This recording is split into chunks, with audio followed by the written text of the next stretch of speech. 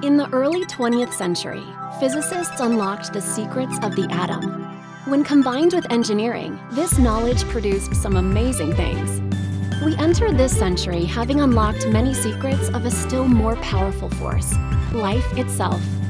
With unprecedented access to the code that makes up our world, the possibilities are endless.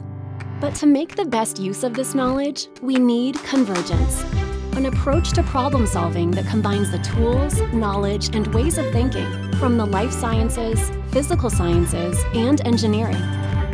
Convergence takes advantage of many different points of view. To a biologist, a protein may look like this, but to a physicist, it looks like this. And to an engineer, it looks like this. Convergence has already stimulated innovations, from basic research to new products that help drive our economy forward. It is helping us to map our own brain activity, print human tissue to build organs on demand, and use viruses to build better batteries for cars. Convergence is a cultural shift for academic, industrial, and clinical settings. What new wonders could the future hold if we design new ways to work together? What if we created new funding, new interdisciplinary institutes, and new strategies for collaboration?